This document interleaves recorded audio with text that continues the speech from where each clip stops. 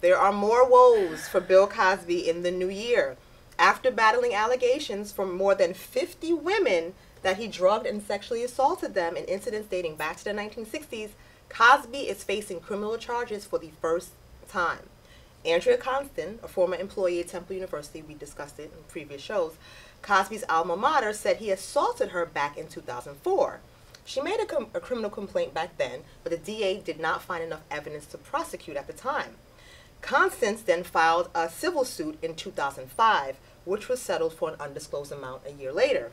Ironically, though, it's that 2005 deposition that Cosby gave and came to light last year when everyone was talking about it that the newly elected DA used to charge Cosby just days before the 12 year statute yeah. of limitations was set to run out. Wow. So Cosby is charged with felony, felony aggravated indecent assault, and if he is found guilty, the 78 year old could face up to 10 years in prison. It's so basically, so, he would die in prison. It's That's ridiculous how yeah. they're defaming his character because they don't have hard proof.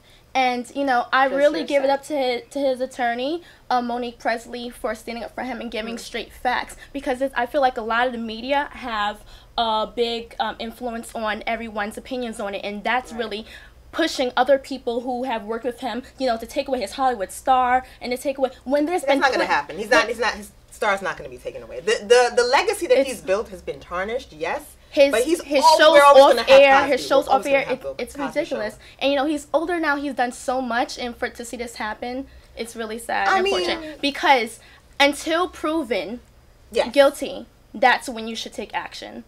So I think it's unfair and unjust. Well, yeah, I mean, you're reflecting the, the point the point of view of a lot of people who are fans of Cosby, have you know grew up with him, know him to be a, a pillar of the community, respect him a lot. But no, you know no, it's not even that. Women, I don't. I'm not comparing. You know, I'm separating him from the Huxtable, and mm-hmm. I'm I'm am speaking on him on behalf of the justice system, not on, of him as like a character.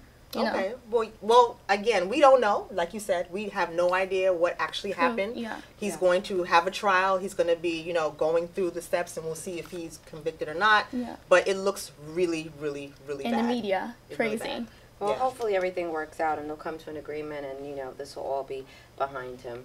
Mm. Yeah, I don't know. We'll see.